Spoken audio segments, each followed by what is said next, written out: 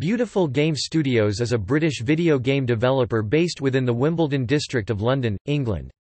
Founded in 2003, the studio was announced on 30 January 2004, as internal development team of Eidos Interactive later renamed Square Enix Europe, that would focus on the development of Championship Manager, after the original developer of the series, Sports Interactive, departed from Eidos Interactive in 2003. On 25 November 2009, after Eidos Interactive was acquired by Square Enix and renamed Square Enix Europe, the company announced that Beautiful Game Studios would undergo restructuring to build a successful commercial future for the Championship Manager brand.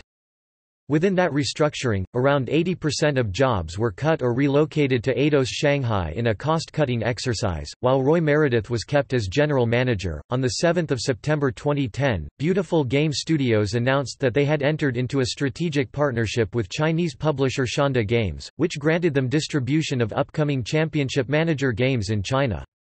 The partnership grew largely from the then enlarged Eidos Shanghai Studios' previous work with Shanda Games, as well as long-term communications between Beautiful Game Studios, Eidos Shanghai and Shanda Games.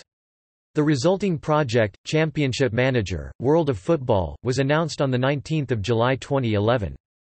The game was set to be a free-to-play massively multiplayer online game, however the game was never released, making Championship Manager 2010, released on the 11th of September 2009, the latest game to be developed by Beautiful Game Studios.